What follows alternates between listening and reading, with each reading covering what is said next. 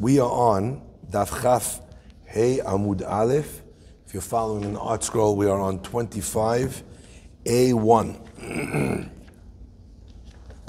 so we were learning about Rabbi Hanina ben Dosa um, and his wife and how they were uh, they were a, a, a, a, couple, if you will, that uh, lived a life of nisim, and his connection and especially his power for tefillah was extraordinarily uh, was extraordinarily powerful, to the point where a word from Rabbi ben Dosa and Hakadosh Baruch Hu was uh, all, all, over it.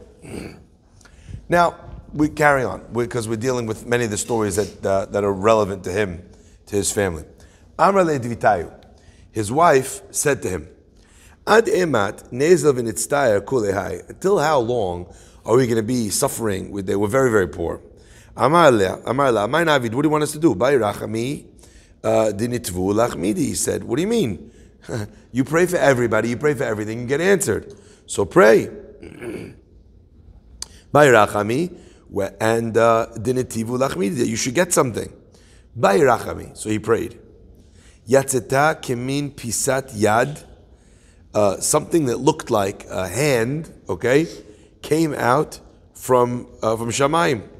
V'yahavule chad kara de pitora de dahava, and the hand was holding a one leg, if you will, of a table that was made out of solid gold. So he's got a solid gold leg of a table.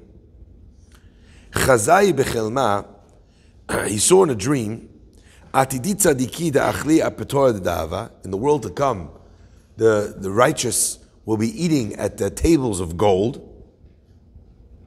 Tlat kare. V'at ochelet aptora de tre kare. They're sitting at a table that has three golden legs. Everybody else. Ve'at, but you, you and I, aptora de tre kare, are sitting at a table that only has two.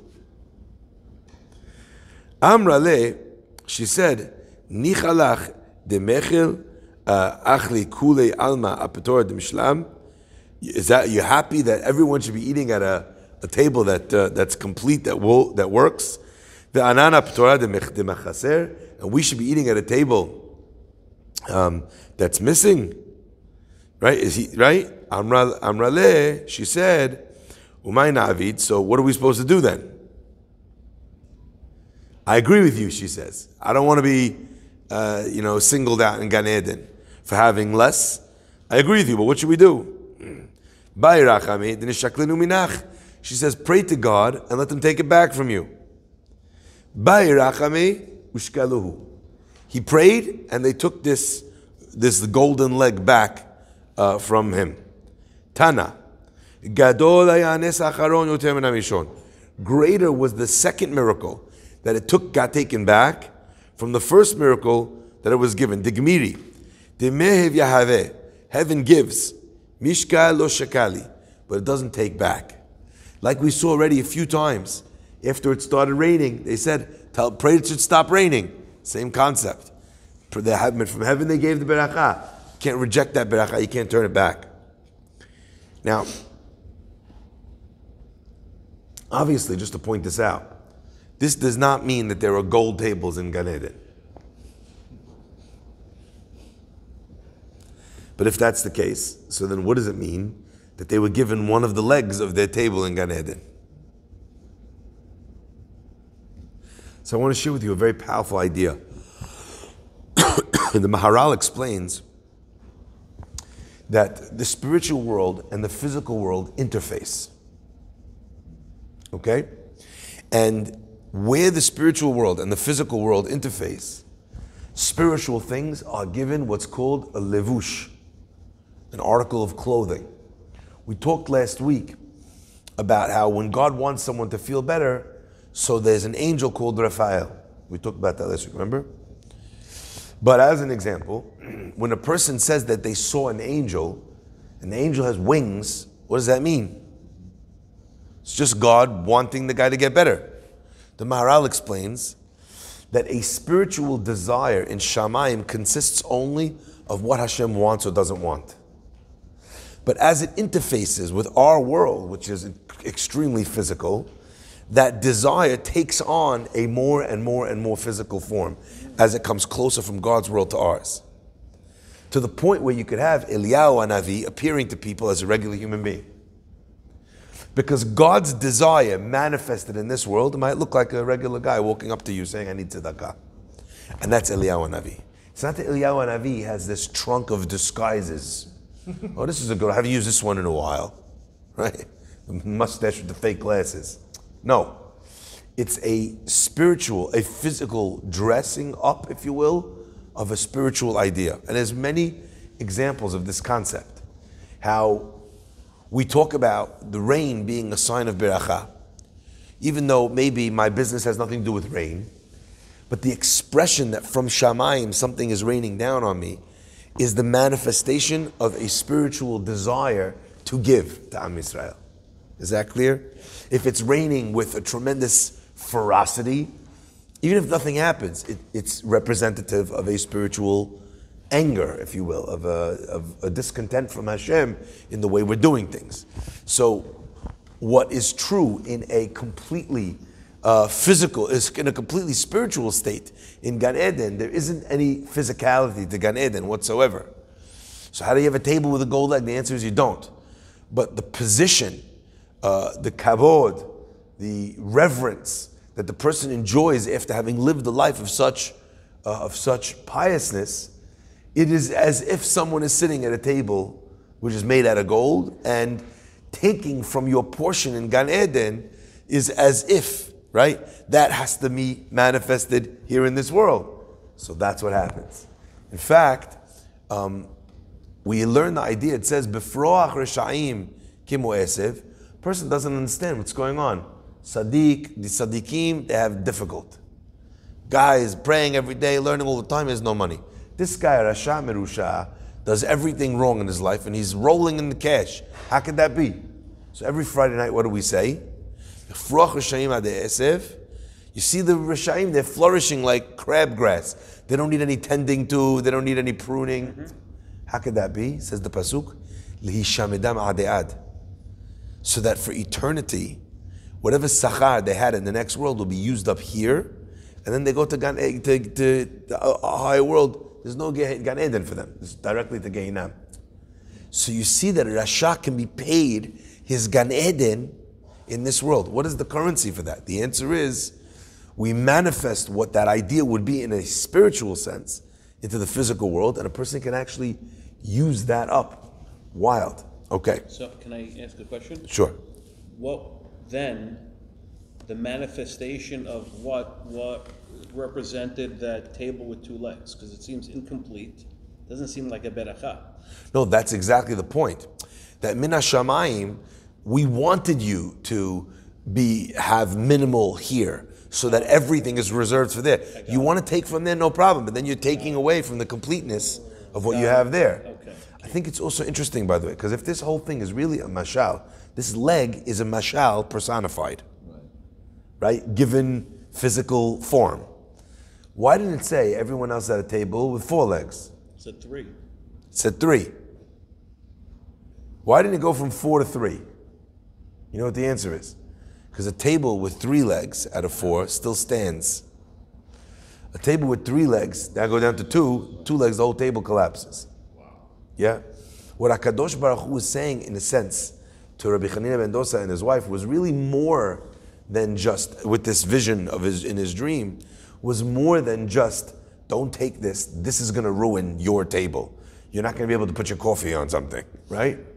But rather, what I think what he was saying is, is that the whole table collapses when people try and take from their portion in the next world and this world. Because that is the difference between a Rasha and a Tzaddik. A Rasha lives for this world. A Tzaddik lives for, do the right thing now, uh, it'll come back to me later. So he's expressing to her that the whole table, so to speak, the whole structure collapses if you're borrowing against your future in Olam Haba. Okay. Let's carry on. The Gemara now continues. Chad be Shimshe. One, uh, one week, be Shimshe, which is like Ben Hashemashot. Chaziel le'ba'ateh dahave atzivat. He saw that his daughter was very sad. Amar la biti.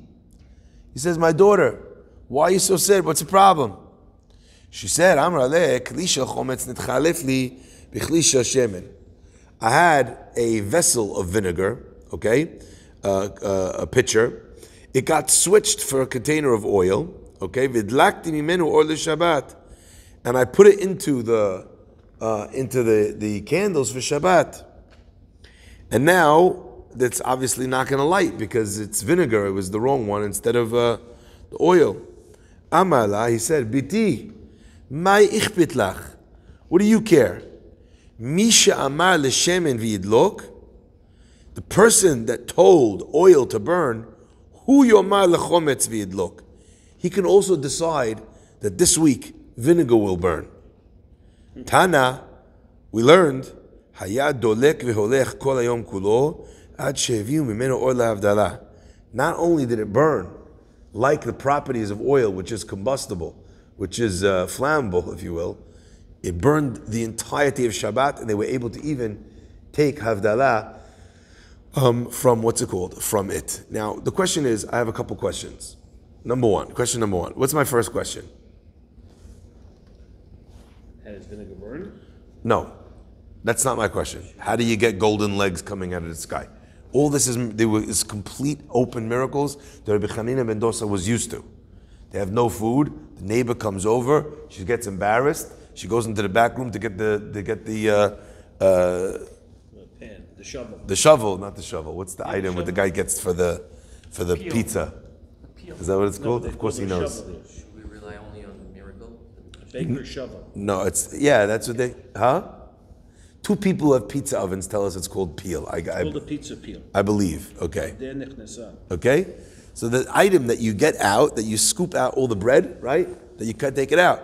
She already knows, because because she's been seen, she already knows the miracle is going to happen. I have two questions on this. Anyone want to suggest? What do you think? just use oil? Number one, why does she just use oil? She said she made a mistake. Made a mistake. Okay, so go get some oil, switch it. Maybe the time was too late. Okay, time was too late. Maybe that's one position. Good. What else? What other questions we have on this story? Can't use the Havdalah light to light. You can't use the Shabbat light to light Havdalah candle. Well, they, they took, that's why they took f- flame from that and made it on something else. So you can't touch the flame of the Shabbat candles. Isn't it a Shabbat little, is over. Why? Huh? Shabbat is over. Shabbat, what? Shabbat's already over. Why can't you use that? Why can't you light it to a, okay? is the expectation of a miracle not right? Okay, question. So, good question. First question is um, the expectation. Now, normally we have this idea that a person in somchin alanes, you don't rely on a miracle. So, in a scenario where God does a miracle or God has to do a miracle, you believe that Hashem can do a miracle. But here, it's unnecessary. It's It's- unnecessary. Why? It's an unnecessary, unnecessary miracle. Go get the oil. Just go get, Go get the more. oil. Oh, okay. Somebody else light it. What else? One other item. Hashem does a miracle. What's the miracle? That the vinegar burns.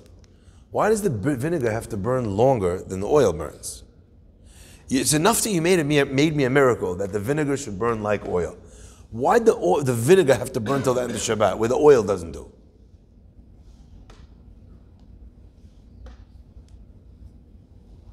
Good question. That is a good question. Not only that, not only that,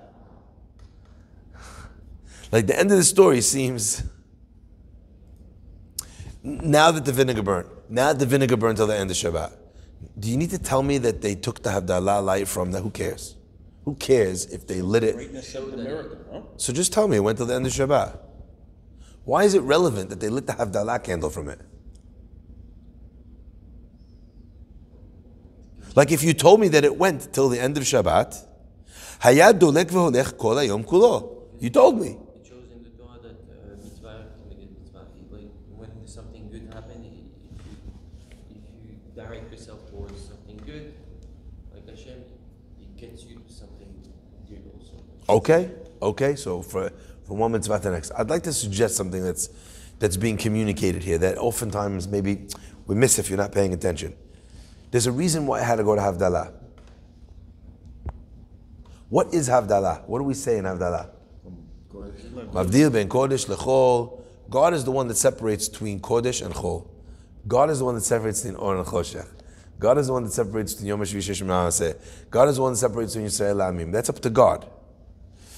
What the Gemara is telling us is exactly the phrase that Rabbi Chanina ben Dosa said to his daughter.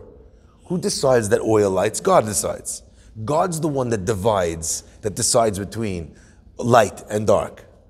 So an expression of what happened was Havdalah. You understand? That it is up to God, Hamavdil ben or lechoshech. So you're worried that it's going to be dark. That's up to God. The emunah of Rabbi Chanina ben Dosa was in effect, it was an expression of Havdalah. So what did the candle do? The candle burned to the point where they could get the light of Havdalah from it. It, it was the thing that animated Havdalah, that, that God is the one that decides between, between light and dark. Now I want to point out, there's something else that you guys missed here. It's something that keeps coming up. Benefit from a miracle. Benefit from a miracle. Good. That come. That's definitely true. Yeah. But you see that Rabbi Chanina ben Dosa wasn't worried about that, right? Remember with the with the story of the bre- of the bread. He, he, it seems like he keeps deferring to his family. Why are you worried about all these things? So so dig under that because you're almost there. Have faith in Hashem that good things are going to happen. I don't know. How in the first, Yes. How in the first place they had the fire, from where they had the fire to even light the, the vinegar? It came from something you probably back then. You, They had a match, let's say, or a flint. They had matches. They had flint stones to strike. My friends, again and again and again, we keep coming across this. Where something is not done and something would not get done. But for But for what? prayer to Hashem, No. By Rachami, he prayed mercy, and he was not answered. The wife, uh, And then what? the busha. And then he felt terrible. Yes. Nailed it. He was humiliated. Chalash da'ateh. And the rain comes. Look carefully. Yeah. God doesn't fill the oven with bread. Doesn't. Until the neighbor comes over. And now she's embarrassed. And now she goes to get the baking shovel. That means that she wasn't getting the baking shovel before. The vinegar doesn't just light until The daughter's upset. Dehavit atziva, until she's sad, until she's upset. In each one of these scenarios, it's almost as if God is saying, if you're not bothered, I'm not bothered. The opportunity when you said. The opportunity comes when the person feels the depth of that emotion, the feeling like, oi, this is not the way it's supposed to be. That emotion is something that's very powerful. Like the Pasuk says, Lev nishbar v'nitke Elohim lo. A heart which is broken, nishbar v'nitke, and which is sad, Elohim lo. God does not uh, turn away. God does not embarrass. So they may have had all the best prayers in their mind. They may have had tremendous zechut, but their heart wasn't yet broken. What was it that broke their heart? The fact that they prayed and weren't answered. They were embarrassed. That embarrassment, that upset, this sadness, that causes that Akadosh Baruch Hu looks and notices and responds to it. If you remember on Yom Kippur, we pointed out that if after each and every one of the uh, of the Yud Gimel Midot, we say Ki Bayom Hazeh Yechaper Alechem. Ki Bayom Hazeh Yechaper says the say the Sfarim is the Rashi Tevot Bechiyah crying. Ki Chaf Bayom Bet Hazeh Yeh Yechaper Yud Bechiyah. Because you could you could say the Yud Gimel Midot. You could merit teshuvah. But if it doesn't bother you, if you're not upset, then the heart is not in a place where HaKadosh Baruch Hu is tuned in and willing to answer you even if you don't deserve it. Okay? So again, we see the power of emotion in prayer. Okay? Let's move on. Rabbi Chanina ben Dosa, Havile Hanach Izi. He had goats. Amrule, they said, Kamafsedan, your goats are ruining our crops. Well, he said to them, "Ika mif- mafsedan, if you think that uh, my goats are ruining, are the ones that are ruining your fields, let the bears eat them. But if they are not uh, destroying the fields, each one of them, teti leurta duba bekarnayu, let them bring back bears bekarnayu with their, with their, on their horns from Keren. Leurta that night, aiti kol chada v'chada duba bekarnayu. You read this Gemara, it's like ridiculous. But this is the life of Rav Chanina ben. And he specifically chose something that was out like outstandingly insane.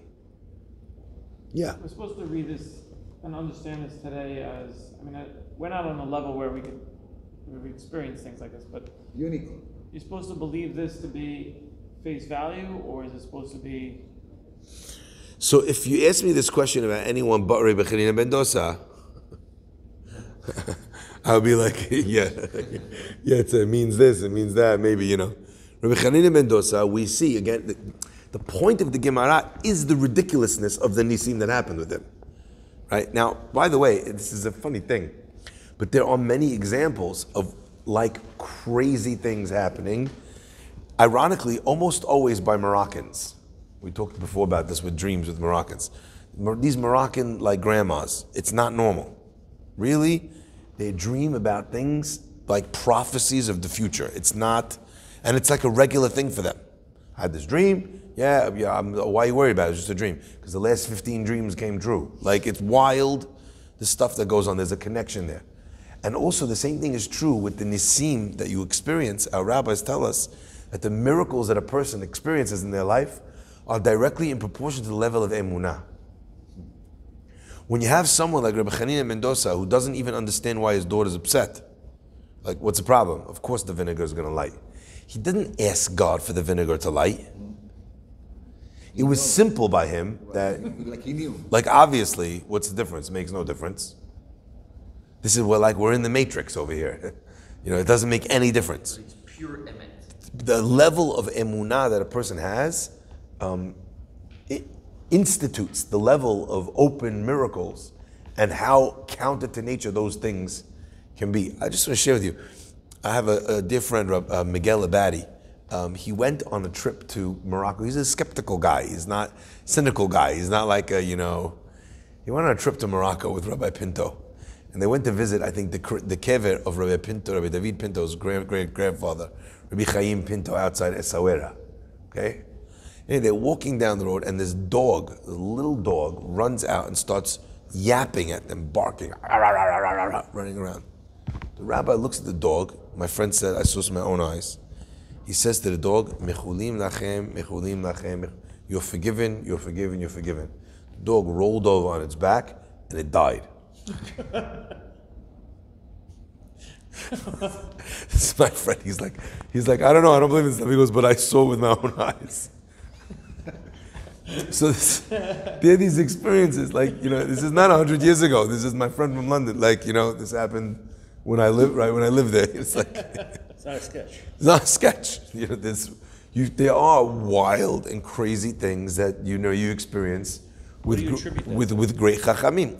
I attribute it to the fact that deep down we believe that Hakadosh Baruch Hu split the sea and that He turned water to blood and that there's frogs in Egypt. How do you believe in those miracles and not now? The answer is that Hashem doesn't do them now. Okay, but every once in a while, for whatever reason, God decides to do them. He does them. So the question is not, we sh- our question should not be the incredulity that we have. How could that have happened? The question we should have is that how come God decided to, to have this aberrative behavior, which he normally doesn't have? Our question should be, why did God choose now? Not, I can't believe this happened. How did this happen? For us, we know that, you know, I mean, again, I, I, I point this out all the time. You're having trouble in business, and what's a Jew's response? Walk six blocks the other way from his business, don't go to work. Go to the, the pshul, open up the aron, and in front of scrolls with letters on them, you know, say to Hashem, you need money. Like we're crazy in the eyes of the world. Our emunah is nuts. We believe in this anyway, but sometimes when something is so extraordinary, we think to ourselves, ah, how could that be? But really, there's no difference in this extraordinary thing and in this extraordinary thing. That words coming out of your mouth from a book should influence a deal that you have with some non Jewish guy later this afternoon is as miraculous as any of the things that we're talking about. Can I ask a question? Yeah. You know, to Harry's point, whether something is literal or allegorical. The girl was pouring vinegar versus oil. The consistency, the viscosity of oil is much different than vinegar. Yes. You pour vinegar, you know it's not oil. So, doesn't make sense to me. What doesn't make sense? pouring two candles or one? Two, right? You mean why? You mean how did she make the mistake? One, and she said, God bless you. I could tell you've never got ready for Shabbat in your life. doesn't make sense to me. I'm just saying. I'm going to say Plus, that they're not again. in the same container. I could tell that you never got ready for Shabbat in your life. Because when you're in Shabbat, you could stick the challahs instead of into the oven, into the cabinet. Yeah, yeah, yeah. You're flying around, you know what's going on. Happens all the time. She time. got upset. No, she got upset that she realized when it's happened. She really, she, it wasn't when she was trying to light it. Twice. Okay. But you're, you're this, the baby's pulling on you, someone's telling you take the challah out of the oven. I've done things far, far more ridiculous. I'm sometimes I'm running around Erev Shabbat with the keys to the car in my hand, yelling, "Where are the keys? Where are the keys? I need to go. It's late." That pressure, Erev Shabbat, Yes. when everything, you, you- you're an idiot. What do you mean? It's in your hands. But you know, you're you're, you're not. You know, you're not. That's I. You know, that's not uh, to me. Okay, let's. I have a quick Yeah. So the oral tradition was passed down from Hashem to Moshe on Har Sinai. Yes. And this is what Hashem told Moshe, like these stories. No, no, no, no. These that happens much later. The oral tradition that Hashem says to Moshe are the explanations of the various elements of the Mishnayot, of the Halachot, uh, many of the, let's say perhaps the lessons of the Agadot. So the lessons themselves, all of that was part of this uh, corpus of of the of the oral law. Talmud goes into that. Yes, Gotcha. yes. Okay. And now these stories are stories that took place in their time. Now again, remember, what th- there's a big uh, machloket as to how did you, how do you decide which gemarot are allegorical or not. So there's a famous Shiltei Giburim in a Masechet Avodah Zarah. Shiltei Giburim says, if you want to look it up, it's very interesting. I don't know if, if your Hebrew is good. It's on page in the back of the Arif. It's on page seven. So the Gemara, it's very small letters on the side. You'll see Shiltei Giburim. He asks this question: How do you decide when a Gemara is allegorical, when it's when it's practical? So his ruling is, what he says is that if something is like so far beyond impossible that it's not impo- it's an impossible thing, then you should understand that that thing is the Gemara is trying to teach you a lesson, and that's what the Gemara is, that's what the Gemara is trying to say. Okay, but what the Shiltei Giburim is actually telling you is that what you're supposed to do is recognize that there are miracles, and if there are miracles, then how could that be the barometer if something's impossible? Right? Because if you believe that there's miracles, then that's impossible. So then that's an allegory. The answer is sometimes seen from the context of the story. In other words, what is the what is the Gemara trying to tell you? Here it's trying to say that Rabbi Hanina ben Dosa lived a life of insane miracles. So the insane miracles that it then gives you are a proof of that said concept. So here is something that you would you'd be more likely to understand is exactly what the Gemara, what it says is, you know, it says what it says on the tin. In a regular scenario, you read something about a rabbi who was juggling goats, and that's not the point of the Gemara. So if you understand that the Gemara is trying to communicate a lesson to you, okay? Hav Havale Ahu Shivata, he had uh, a neighbor, um, Kabanya Beta, Velo Matu Kishure. He had a neighbor that had uh, the he had a, who had a house, and the beams of the house lo matu they did not reach, okay, one side to the other.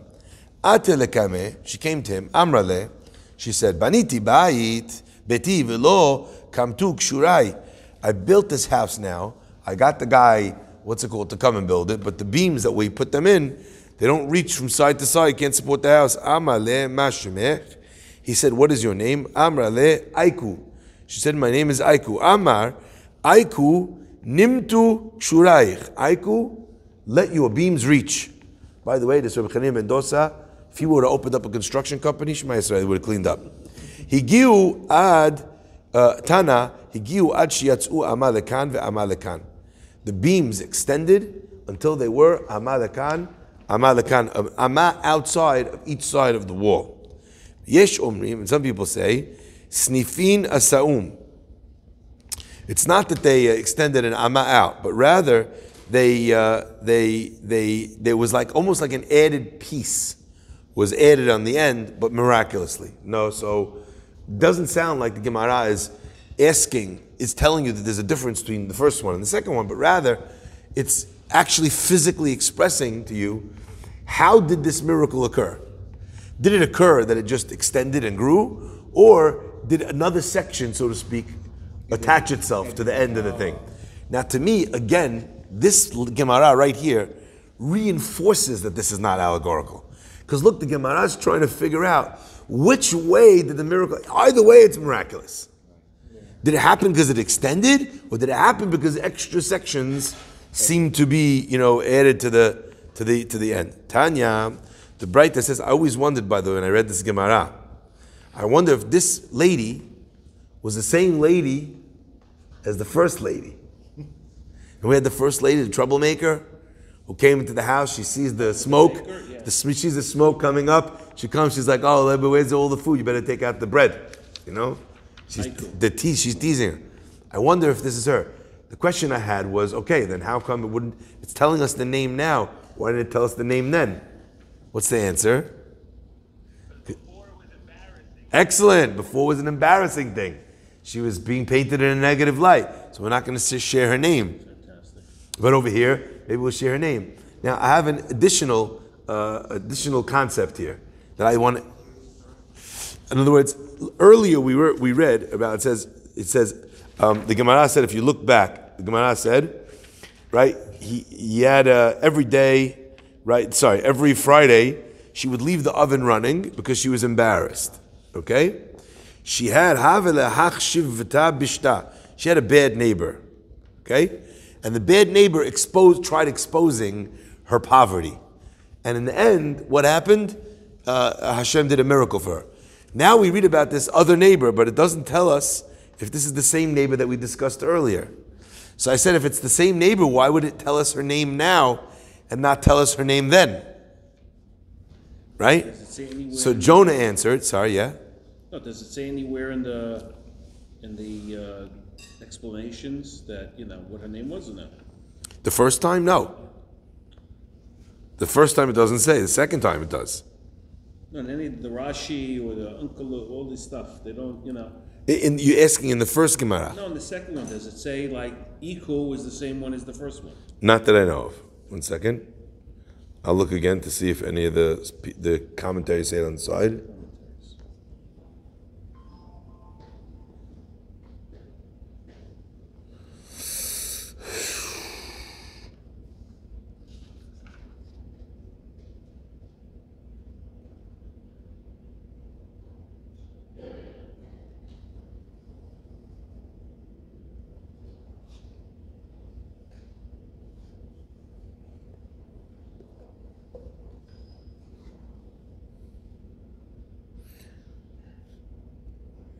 I don't see that anybody says it. Okay.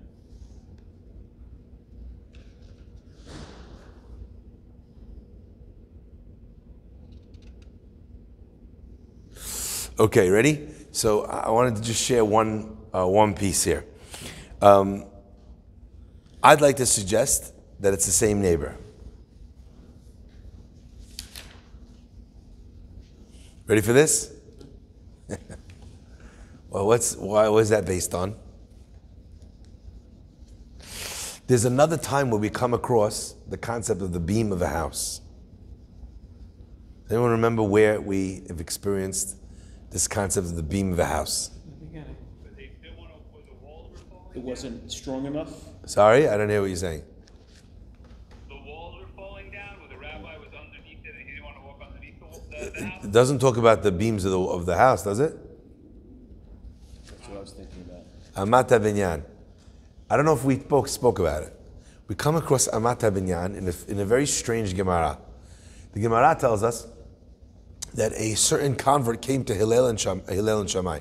First he goes to Shammai and he says, Gaireni, convert me, al menat, in order, right, on the condition that you teach me the whole Torah while I'm standing on one foot. What does Shammai say? Nothing. Dechafo, he pushed him, be'amat habinyan, with the beam of the house. Comes Hillel, the guy comes to Hillel, same thing. He says, convert me on the condition you can teach me all the Torah on one leg. Yeah? What does he say? No, it's not what he says. Very close. He says, the alach sani lechavrecha al ta'avid. What you hate, don't do to someone else. That's what he says to her. Right? That's what he says to the, excuse me, to the convert. The Gemara, the commentaries explained that, Rabbi- that what Hillel was basing it on was. But he doesn't say that to him. He says actually to him, De alach sani, that which you hate, chavrecha al tavi, don't do, don't do to your friend. Okay? That's how he expressed. He says everything else is dependent on this only. If you got this, you'll learn everything. Idach pirusha, everything else is explanation beyond this principle. Zil Gimor, go and study it. Okay? Why was Shammai pushing him away with the Amata Binyan? And why was Hillel saying that the root of all Torah is after Kamocha? What was, what was the convert really asking? Convert me on one leg. Trying to Yeah. him. What do you got? Jonah, what do we got? I, this is, I saw this in, uh, it's in Shabbat, right? The, the Gemara Shabbat. Yes. But it said, I literally just read this last night. It said that when Shammai was stern, he wanted to banish them from the world to come, but Hillel, he was humble to bring them close under Hashem. So Shammai was pushing them away for later, and Hillel was bringing them close for now. But why Amat Habinyan? Why doesn't he use his hands? Why does he? Why does he, he needs a prop? Takes the, be- the beam from the building. Does he feel the guy's gonna contaminate him? so, he, so he doesn't want to touch him. I don't know. He doesn't want to touch him. So I think that there's something here which is, uh, which is very powerful. What Shammai is telling uh, this convert is you're asking, yeah, you're asking for what's it called to come to co- come under tachat kanfei Shekhinah, and you want me to teach it all to you with on one leg. What Sham- Shammai communicates to the ger is he says to this convert, how can I do that? the the process of learning Torah, it's a it's a structure. Imagine trying to build a house with a short. He didn't push him away with the stick, the beam of the house. He said to him, You could imagine trying to build a structure with a beam that's too small, it's too short. It's not work. Dichafo be'amata binyan. Says to Hillel to him, he says, the truth is, if you have this principle, idach pirusha zil gemor, everything else will grow out of that. It's enough to sustain the building. If you could put someone in front of yourself, you could be other focused, you're not focusing on yourself, all the mitzvot could come out of that. The neighbor comes to uh, Rabbi Hanina ben Dosa. Why didn't she go to a stinking contractor? My beams are too short. What is she saying? She's now asking forgiveness for the first story. She says to Rabbi Hanina ben Dosa, My beams are too short. My house is going to collapse. My religion, my structure, my Jewish home. I came to try and find your wife to, to out her and her poverty. It's not enough. Amata binyan, that's my, that was my chidush on this Gemara. So what does the rabbi tell her? He says to her, Eku, right? What's your name? She says, Eku, right? Um, Why would he ask that question? sorry? He, he knows her. But what is he saying? Nimte kishuraich, let your, uh, let the, let the beams uh, extend, okay? Um, and the Gemara is telling us something very, very powerful here. He says, Who are you? What's your name? Eku. She says, My name is Eku. So he says, Eku, uh, nimtu kishuraich. When a person um, when a person is born in this world, right? Every person gets a name, and we know already that the name of a person indicates the essence of that person. So she came to him and said, Look, I've fallen short. So he asks her, What's your name? What's your purpose? What'd you come here for? Right? She says, My name is Ekus. He says, Okay, if that's the case, you have a tachlit, you have a purpose, you have a koach in this world. Nim tu kishuraich. Let you could stretch, you could become more. You're telling me that you fell short, no problem. So build the person, and that's why the Gemara goes to the diff- to the difficulty of communicating that he's talking to her about her name, about herself. Nimtu kishuraich. And the Gemara asks and says, well, how did he suggest that she should grow? The first opinion says that it's just an expansion of the person's self.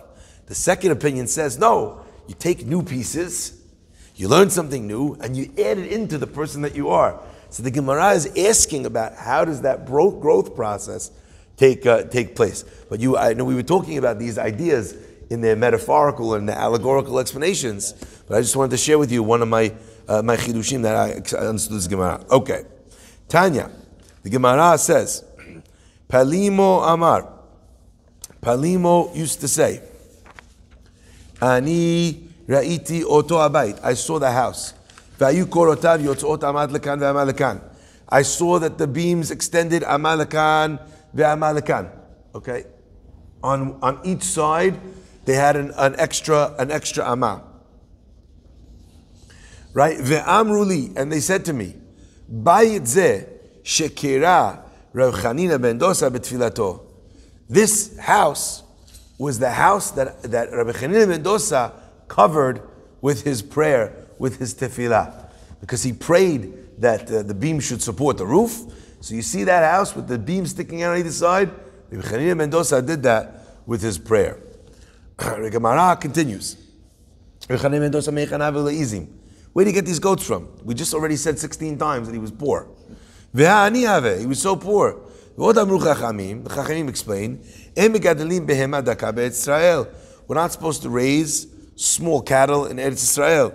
The Gemara has a specific reason why in the time of Beit HaMikdash um, they would not raise those animals in the Beit HaMikdash. There's a, a Gemara in Ro'eh Behema Daka that talks about it. There's a Gemara that talks about the fact that they uh, that the damage that comes from them is very shachiach. It happens quite often, which is actually what happened. They said to him, "Your goats are grazing in our fields. They're ruining our fields." So how did he do it if he was a? He should be surely would have followed the halakha. Amar Pinchas Pinchas explains. A person passed by the house of Rabbi Chanina. V'eniach sham tanegolim. And he left some chickens over there. Okay? Mitza'an, mitza'atan ishto shel Rabbi Chanina ben Dosa found this man's chickens.